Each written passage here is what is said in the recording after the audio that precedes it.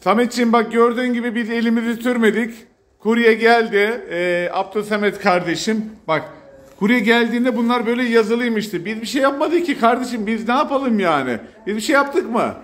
Kesinlikle. Vallahi biz bir şey yapmadık kardeş. Biz bir şey yapmadık Ben de yapmıyorum benim yazıyor. Alışkanlık olmuş. Aa,